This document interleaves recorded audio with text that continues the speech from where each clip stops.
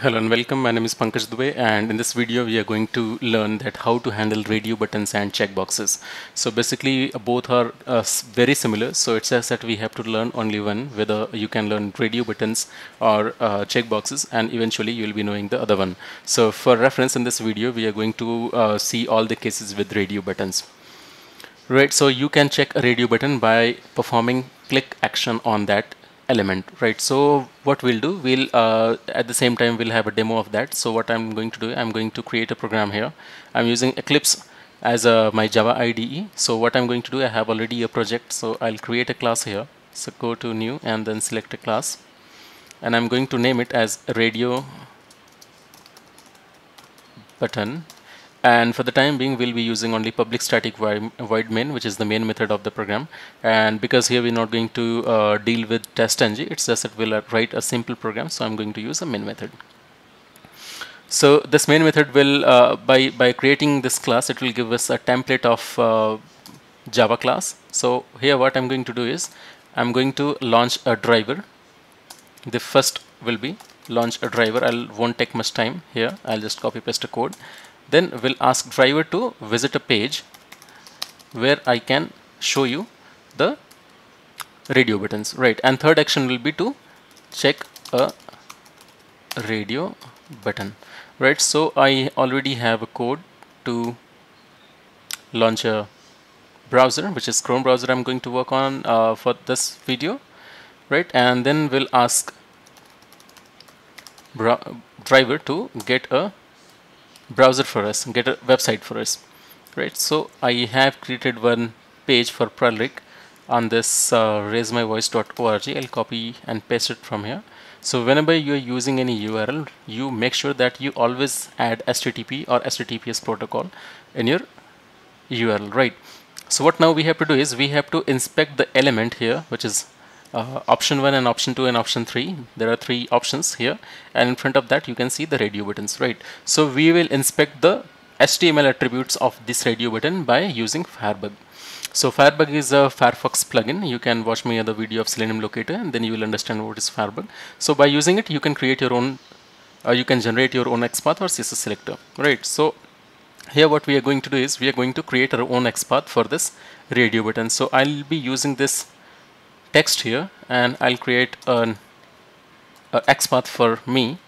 So it I'm going to use text method and which equals to option 1 and then I have to go to preceding sibling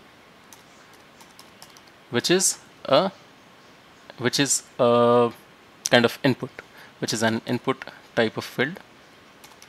Hit enter. Here you can see this has selected this radio button right? So this XPath will work with us. So what we can do is we can write a program to we can ask driver to find element by using xpath and here we'll pass the value of xpath and then we'll ask it to do click on it right? So this is a very simple line of code that we have written here. Uh, it is giving one error so we have to import by from org.openqa.selenium and then what is this? Okay right. So this is it. So this statement will select the first element or first radio button in the list. So just try to see it how it works. So I'm going to run the program as a Java application. So it will launch the browser. It will get us the website and then it will select the first radio button in the list. So the site is being loaded I'll just go downwards. Here there are three options and it should select the first option right? So here you can see that it works. Right. So this is the first way of selecting one element by using the click action on it right? So those we also have a second option by select uh, to select any element by using its value. So I'll just quickly show it here. So by using its value a radio button can be selected. If it satisfies a if it satisfies the condition by comparing its value right? So we have to check it we have to check the radio button by using its value. So what we have to do is we have to get the value of that. Uh, so what I'm going to do is I'm going to put a simple if condition and uh, sorry I have to copy it. Now under if condition we'll ask driver to find the element. And then now what we have to do is we have to get the value attribute of this HTML so if you go back on screen here you can see that with this input field with this radio button there is a value attached to it. And it, it is mandatory that whenever you will find any radio button there will be certain values attached to that radio button. So there are three radio buttons and you can check that for all the radio buttons there will be some uh, value attached to it. Here you can see another uh, input type which is a radio button and here you can see that value 14 is attached. For the third radio button if you go here you will find that value 15 is attached to it. So if you place the cursor here that now you can see that the third option is highlighted here. So if you see it is like that right? So it will it is a mandatory that whenever you will find any radio button you will find an uh, you will find one attached value with this. So we are going to use the value. So for that that thing what you have to do is you have to ask the driver to get the attribute and it will be a value. And now you can compare it with any desired value right? So if it matches with let's say um, 13 because 13 is the value attached to it then it should select this statement or select this radio button right? So what I'm going to do is I'm going to copy it from here and I'll paste it here and then click so now it will do it will compare its value first and if it matches with 13 then it will select the first element right? So instead of first now uh, I'm going to do is for the second. So the value attached to second radio button is 14 so it should select the second radio button in the list. Now run the program and see how it works.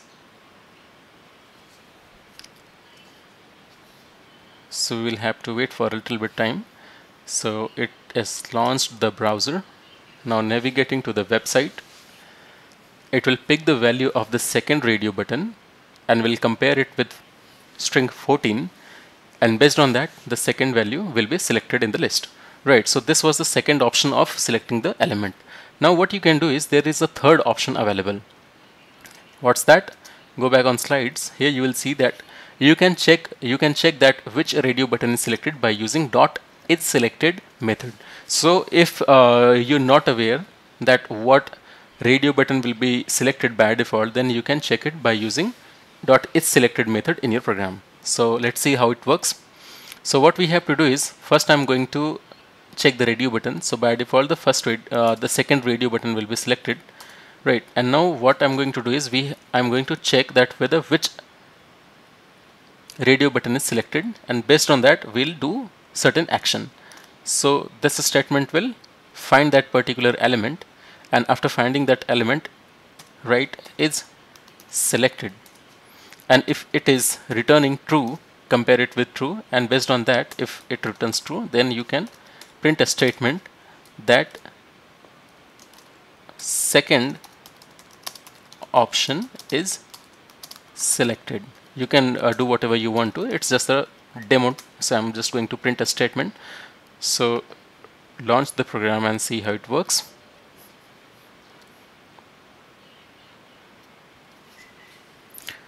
It will launch the browser. Now navigating to the website. And the first line of code will select the second uh, radio button in the list. And then based on the some conditions it will print a statement in the console on the console